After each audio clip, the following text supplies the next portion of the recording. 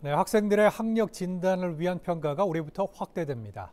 아, 다른 지역이 학교 자율적으로 진단 평가를 실시하는 것과는 달리 제주도교육청은 사실상 전면 확대하겠다는 방침을 세웠습니다. 이정훈 기자입니다.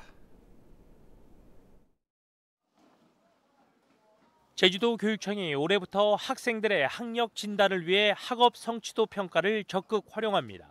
이에 따라 그동안 희망학교를 대상으로 실시하던 것을 모든 학교로 확대합니다.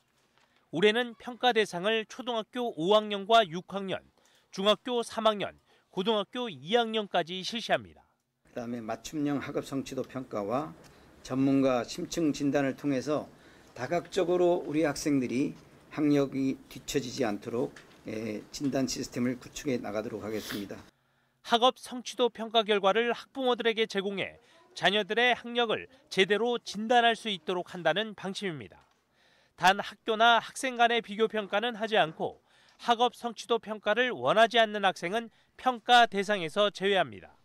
이 같은 제주도 교육청의 방침은 다른 지역 교육당국과는 사뭇 다른 행보입니다. 경기도나 부산, 인천과 대전, 세종과 충남 교육당국은 학업 성취도 평가를 학교 자율에 맡길 계획입니다. 제주도 교육청은 학업 성취도 평가 확대 실시와 함께 학생들의 기초학력 지원책도 내놨습니다. 재학력을 갖추지 못한 학생을 선정해 이들을 전담 관리할 교사를 지정하고 외부 강사 등을 채용해 방과 후 개인별 학습을 지원하기로 했습니다. 김광수 교육감이 취임 일성으로 강조한 학력 향상을 위한 사전 준비 단계로 학력 진단의 대대적인 확대를 예고하면서 학교 분위기도 크게 달라질 전망입니다. KCTV 뉴스 이정훈입니다.